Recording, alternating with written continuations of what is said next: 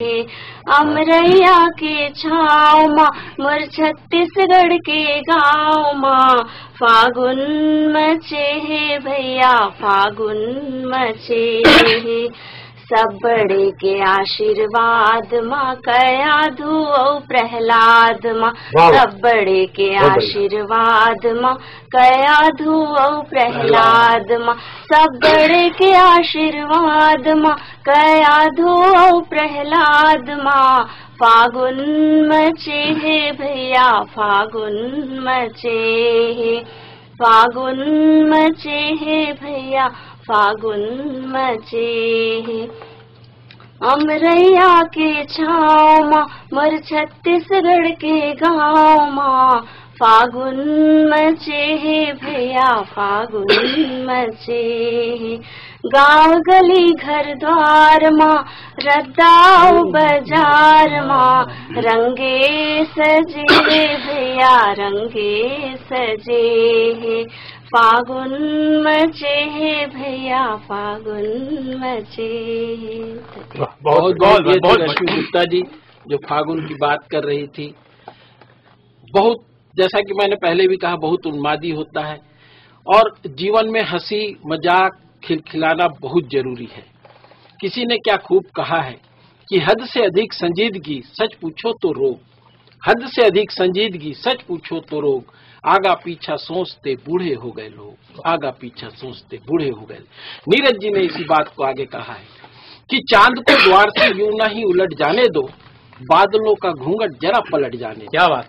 चाँद को द्वार से यूँ ही ना उलट जाने दो बादलों का घूंघट जरा यह पलट जाने दो उम्र तो सारी पड़ी है रोने के लिए आज की शाम तो हंसकर गुजर जाए। वाह, वाह, वाह, वाह, वाह। आज की और इसी हंसने खिलखिलाने के लिए हमारे बीच सीपत से आए हैं भाई शरद यादव जी।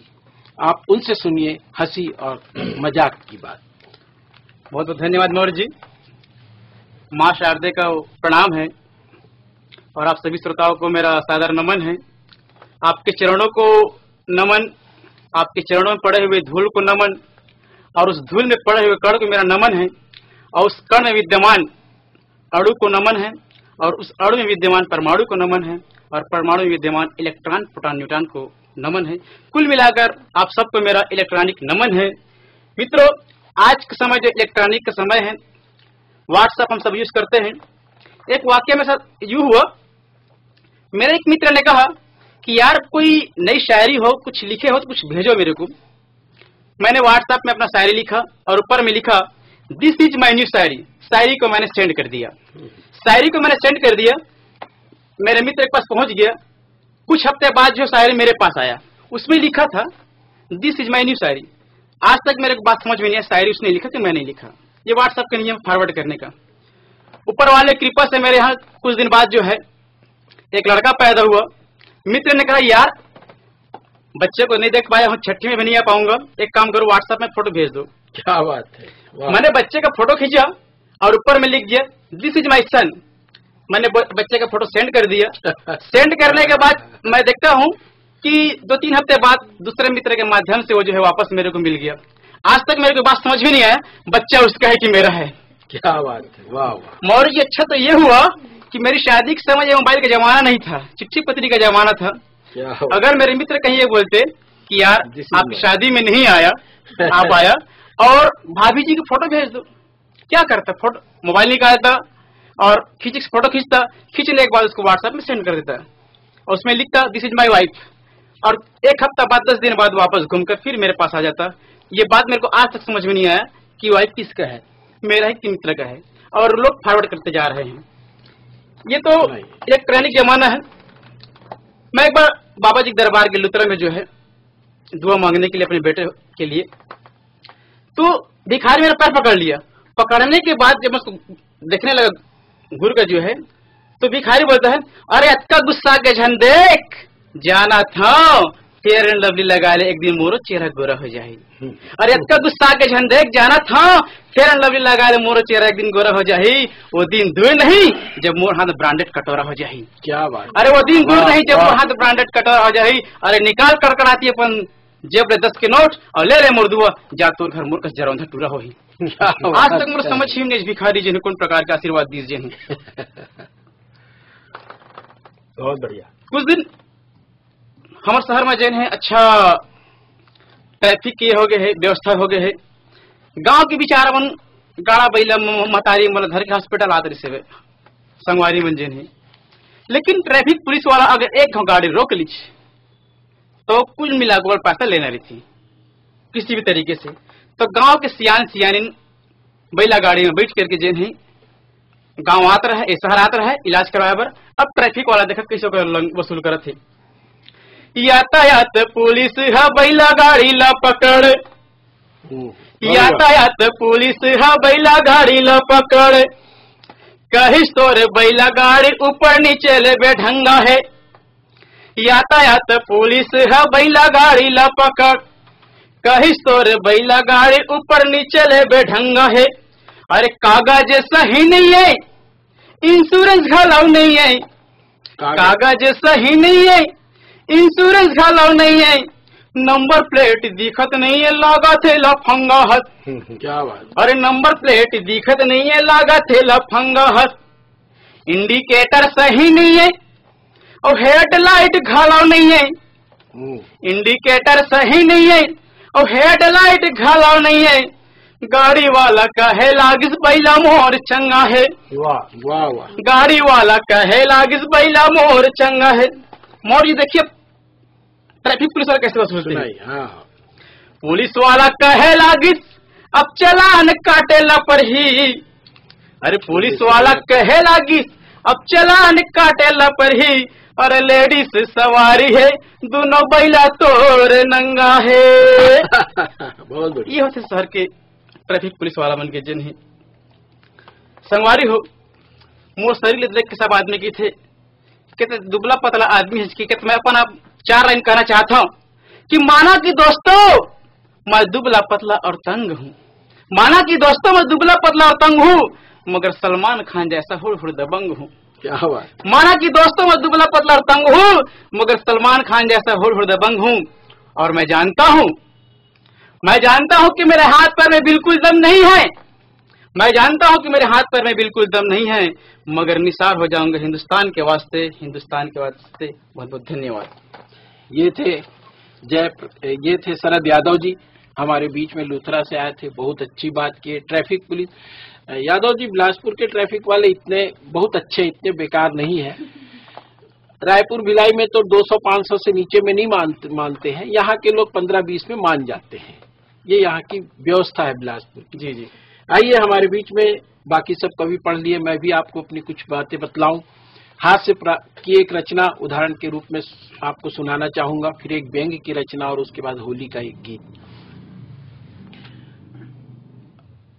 तकिया कलाम की एक बात होती है महिलाओं में ज़्यादा तकिया कलाम की आदत होती है वो हर बात को रिपीट करती है जिसको हम लोग तकिया कलाम कहते हैं। मेरी श्रीमती जी में एक आदत है तकिया कलाम की। हर बात में कहती है यह तो मैं मैके से लाई थी। क्या बात मैं जब फ्रिज की बात करता हूँ तो बोलते भोपाल वाले भाई ने दिया था। टीवी की बात करता हूँ तो कहती है कलकत्ता वाले चाचा जी ने दिया था। हर बात में मैके को उठाती है और किस तरह से दुर्घटनाग्रस्त हो जाती है कि शादी हुई पत्नी आई शादी हुई, पत्नी आई, समय हुआ, लड़का हुआ। मैंने कहा, अरे, सुनती हो, मैं बाप बन गया। क्या बात शादी हुई पत्नी आई समय हुआ लड़का हुआ। मैंने कहा अरे सुनती हो मैं बाप बन गया। उसने कहा तो जाओ जी या तो मैं मैके से लाई थी तुम्हारा तो क्या बात, क्या बात, क्या बात। तुम्हारा तो सिर्फ़ नाम। ये हादसे की बात होती है। और जब बैंक की बात आती है तब एक बच्चा प्रश्न पूछता है माँ से और माँ उसका उत्तर देती है माँ को इसलिए आड़ में रखा गया है कि आज के इस कठिन दौर में अगर कोई सच कह सकता है तो नारी सच कह सकती है माँ सच कह सकती है। बेटा प्रश्न पूछता है और माँ उसका उत्तर देती है कि बेटे ने पूछा माँ से माँ यह आवारा कुत्ते आधी रात के बाद अज्ञात दिशा की ओर बेवजह ज़ोर ज़ोर क्यों भूखते हैं और भूखते भूखते कुछ इधर, कुछ उधर चले जाते हैं? बेटे ने पूछा माँ से माँ यह आवारा कुत्ते आधी रात के बाद अज्ञात दिशा की ओर बेवजह ज़ोर ज़ोर क्यों भूखते हैं और भूखते भूखते कुछ इधर, कुछ उधर चले जाते हैं? माँ ने कहा, बेटा, माँ ने कहा, बेटा, यह सब, माँ ने कहा, बेटा, यह सब पूर्व जन्म के सांसद रहे हैं शून्य काल के आते ही आदत से मजबूर हो जाते हैं बेवजह ज़ोर ज़ोर भूखते हैं और आदतन वॉकआउट कर जाते हैं क्या बात, क्या बात, क्या। आदतन वॉकआउट कर जाते हैं ये हाथ से और फिर व्यंग और जब हम होली की बात करते हैं तब पाँच पाँच छंद की यह एक रचना। कि होली का किस तरह से मूड बनता है कि थम गई लहराती हुई तलवार नाव चली बिन पतवार बाँध सारे टूट गए मन बहा भाँग की गोली में हाहा हाँ। हाँ यारो होली में हाँ हाँ यारो होली क्या बात क्या बात। थम गई लहराती हुई तलवार नाव चली बिन पतवार बाँध सारे टूट गए मन बहा भाँग की गोली में हाँ हाँ यारो होली में हाँ हाँ यारो होली में। शराबी हो गई अखिया फैला जब अबीर हाथ छुड़ाकर भागी गोरी जागी यारों की तकदीर। इरादे सारे बेईमान हो गए। देखी जब साली घाघरा चोली में आहा। हाँ। हाँ यारो होली में हाँ हाँ यारो होली में। हम दिवाली में मिल बांट करके खाते हैं होली में हम छीन छपन करके क्या खाते हैं। अधिकार होता है हमारा। मिल बांटकर अब क्या खाना? छीन झपट का यह त्योहार पुराना। मिल बांट कर अब क्या खाना छीन झपट का त्योहार पुराना।